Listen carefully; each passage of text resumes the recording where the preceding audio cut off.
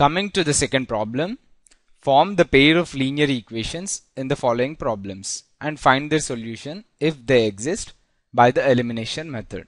The first bit given is if we add 1 to the numerator and subtract 1 from the denominator, a fraction reduces to 1. It becomes 1 by 2 if we only add 1 to the denominator. What is that fraction? So let us see the solution for this problem. In this problem, we are required to find a fraction which is subject to certain conditions. So let us assume the fraction to be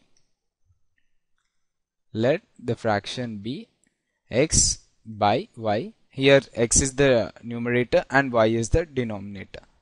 So let us first see the first condition that is when 1 is added to the numerator and 1 is subtracted from the denominator the fraction reduces to 1. Our assumption of the fraction is x by y. So when we add 1 to the numerator it becomes x plus 1 and when we subtract 1 from the denominator it becomes 1 y minus 1. So this is equal to 1 according to the given problem. By cross multiplication we get x plus 1 is equal to y minus 1. On rearranging the terms of this we get x minus y is equal to minus 1 minus 1 which is x minus y is equal to minus 2. Name this equation as equation number 1. Now by the second condition it becomes 1 by 2 if we only add 1 to the denominator. So the numerator remains as x and 1 is added to the denominator which becomes y plus 1. So this is equal to 1 by 2. On cross multiplication we get 2x is equal to y plus 1. So re on rearranging the terms we get 2x minus y is equal to 1. So name this as equation number 2.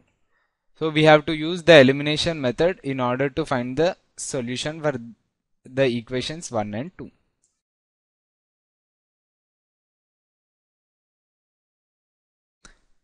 Equation 1 minus 2 gives x minus y minus 2x minus y is equal to minus 2 minus 1.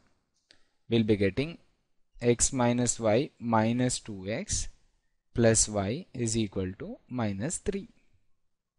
Now minus y and plus y will be cancelled. x minus 2x is nothing but minus x. This is equal to minus 3. So finally we'll be getting the value of x as 3. So let us substitute x is equal to 3 in equation number 1. Substitute x is equal to 3 in first equation. x minus y is equal to minus 2 implies in place of x we can put 3 minus y is equal to minus 2. So minus y is equal to minus 2 minus 3 minus y is equal to minus 2 minus 3 is nothing but minus 5. That implies y is equal to 5. So we obtained the value of x as 3 and the value of y as 5. We have assumed the fraction to be x by y. So in place of x we can write 3 and in place of y we can write 5. Hence the required fraction is 3 by 5.